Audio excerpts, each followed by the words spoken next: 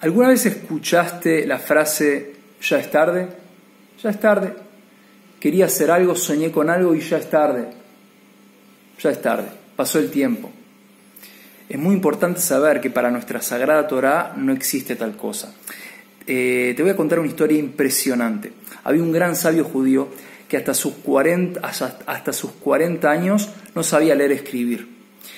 Y era una persona que no estaba cercana a la Torá, básicamente estaba muy alejada de la Torá. Y una vez vio lo siguiente, vio gotas de agua que caían sobre una piedra y vio abajo la piedra que había un gran agujero.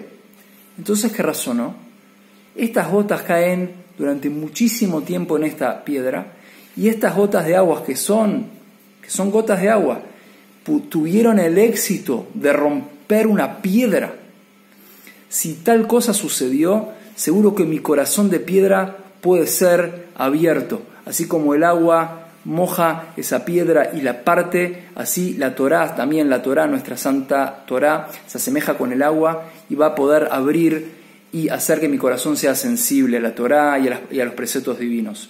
Por lo tanto, este gran sabio comenzó sus 40 años a ir a la escuela a, primero de escuela, leer, aprender, a leer, aprender a leer, a escribir, y así comenzó de cero, a los 40 años, y eh, se, se constituyó, se configuró, se transformó en uno de los sabios más grandes de toda la historia del pueblo de Israel. La Torah oral del pueblo de Israel es en gran, en gran, en gran parte por su mérito.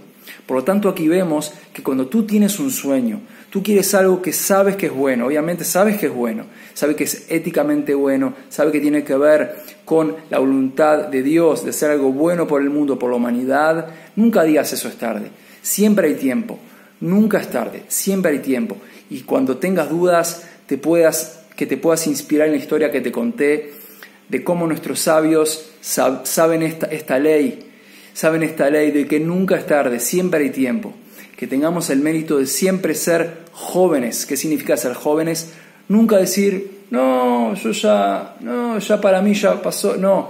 Siempre nuestros sabios dicen, siempre hay que ser joven, no importa la edad, joven internamente, vivir joven, es decir, renovarse, constantemente eh, renovarse y querer siempre hacer la voluntad de Dios con mucha alegría y buen corazón. Muchísimas bendiciones.